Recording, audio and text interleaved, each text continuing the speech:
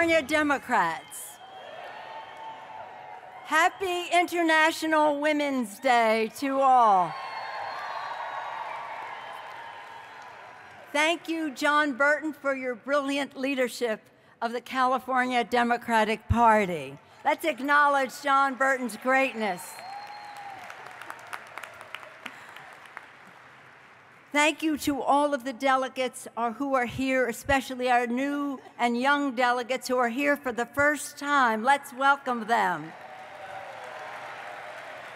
And thank you, Mayor Garcetti, for welcoming us to the City of Angels, demonstrated so beautifully in the film, spoken about from the point of values in your great remarks. Thank you, Mayor Garcetti. And in the theme of this convention, Renewing California by Advancing Our Values, the theme for this convention is Classic California optimistic, entrepreneurial, and innovative. Innovative, founded in our values of fairness, justice, equality, and opportunity for all.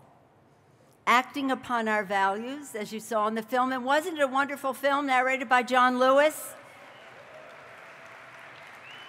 Acting upon our values, Democrats have always worked for an economy that works for everyone. Five years ago, President Obama called for bold, swift action now to bring our economy back from the brink. A Democratic Congress answered with the Recovery Act to invest in jobs, infrastructure, clean energy, and strengthening the middle class. Now our businesses have created over 8 million jobs, new jobs, and our economy is back on track, but we are not finished yet. We have work to do. Acting upon our values of equality and fairness, a Democratic Congress and the President made the Lilly Ledbetter Fair Pay Act the first bill that President Obama signed into law. We discarded don't ask, don't tell into the dustbin of history, ensuring that Americans in uniform can serve the country they love, no matter whom they love, but we are not finished yet. And by the way, let's hear it for our men and women in uniform who serve us so well, many of whom are here today. Thank you. With a Democratic Congress and a Democratic president, we strengthened the middle class by establishing the stronger, strongest consumer protections in history. We ensured that the recklessness of some on Wall Street never again causes joblessness joblessness for many on Main Street. But we are not finished yet. We acted upon the belief that health care is a right for all, not just for the privileged few. For a century, many tried. With a Democratic president and a Democratic Congress, we succeeded, and the Affordable Care Act became the law of the land. And because of the Affordable Care Act, Millions in our country and in California are gaining affordable, quality insurance, health insurance for the first time.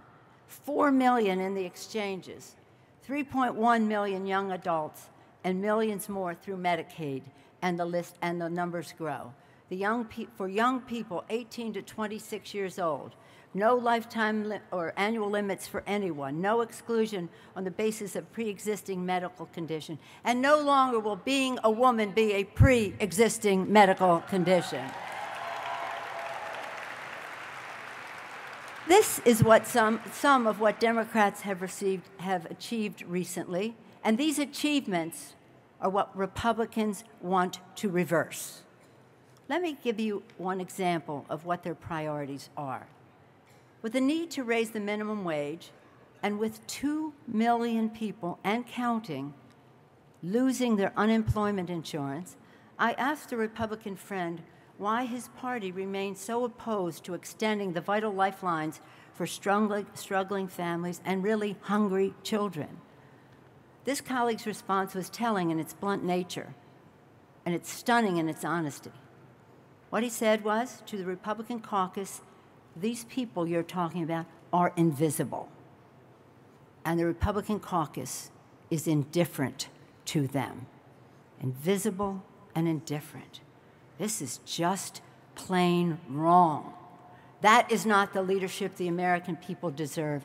And it is up to us to demonstrate clearly how Democrats are different, that no American is invisible to us, and we will never be indifferent to their needs. We know and care about the needs of the American people. If House Republicans refuse to listen, refuse to see the challenges facing all Americans, then it's up to us to retake the House of Representatives for all of the American people. If Congress won't change, then it's up to us to change Congress. And when we do, Democrats will be ready with an agenda to close the opportunity gap and build an economy that works for everyone. Let me be clear. This is an agenda that could be enacted today, right now, if Republicans would only give us a vote. Right now, the votes are there to give America a raise. We could raise the minimum wage with Congressman George Miller's Fair Minimum Wage Act. The votes are there. And aren't we proud of George Miller's leadership in the Congress for 40 years? Aren't we proud of George Miller? Thank you, George Miller. Right now, the votes are there to extend unemployment insurance for the 2 million families that rely on it to stay afloat. Right now, the votes are there to tear down barriers of discrimination in the workplace and pass ENDA in the House, which has passed in a bipartisan way already in the Senate. Give us a vote on ending discrimination in the workplace. Right now, the votes are there to enact comprehensive immigration reform.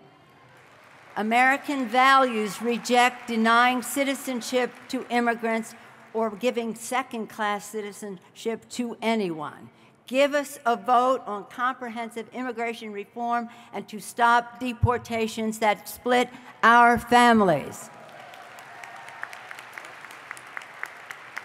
And it is time to honor our generational responsibility to preserve our planet, God's great creation, by addressing the climate crisis. Thank you, John Burton for your leadership in California on this subject. You're a leader, a leader in the legislature as President pro tem on protecting our planet. And thank you, Tom Steyer, for protecting John's leadership from big oil. Our leader in Congress, our leader in Congress to confront climate change is Congressman Henry Waxman, and we are very proud of his extraordinary Let's hear it for Henry Waxman and then 40 years of leadership in the Congress. We have had some extraordinary personalities to get the job done. It's time to take up the Democratic economic agenda for women and working families. When women succeed, America succeeds. It is based on three pillars. We must make fair pay the standard in the American workforce, pass an increase in the minimum wage, and the Paycheck Fairness Act. Women making only 70 cents on the dollar for every dollar a man makes means that for the first three months of the year, pretty soon, the end of March, the first three months of the year, a woman will be working free compared to her male counterpart with the same education, same experience, same job qualification. That's just wrong. And think of what that means to that woman's family. We must secure work and life balance for women by following California's lead and enacting paid family and medical leave in our entire country. And we must ensure affordable quality child care for all working parents. If we do those three things, we will unleash the power of women and when women succeed, America succeeds. Okay, let's do that again. When women succeed, America succeeds.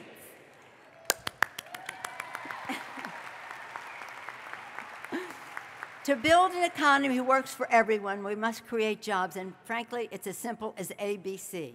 America. Make it in America. Stop tax breaks for uh, companies that send jobs overseas. Have tax breaks tax breaks for jobs created here.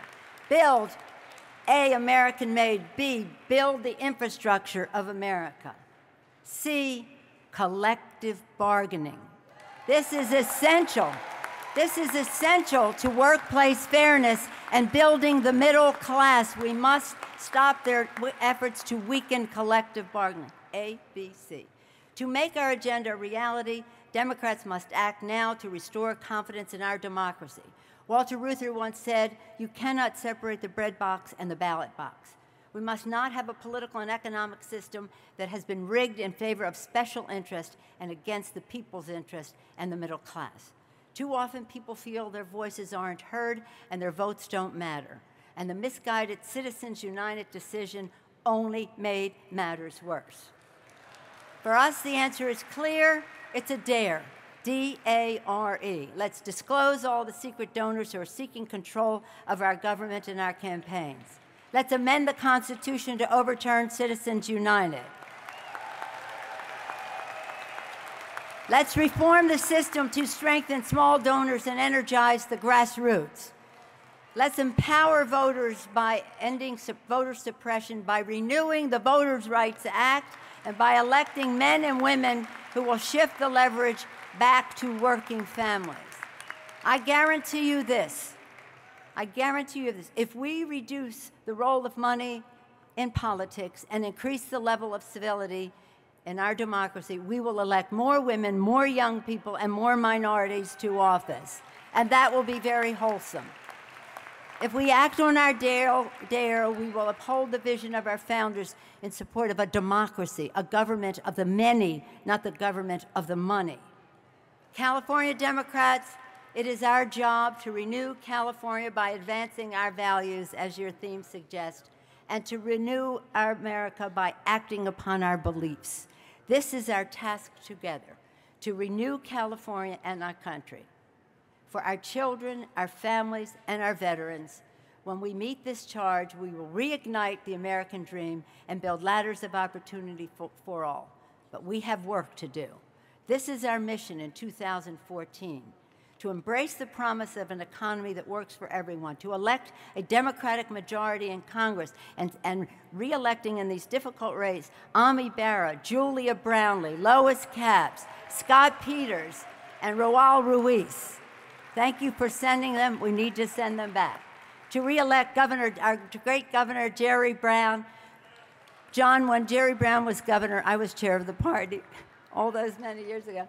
Jerry Brown, Lieutenant Governor Gavin Newsom, Attorney General Kamala Harris. Aren't we proud of all of them and all of our statewide Democrats? Thank you, John Burton and the California Democrats, for your spirit and your leadership. God bless you all. God bless our men and women in uniform. God bless California. God bless the United States of America. Onward to victory. Thank you all very much.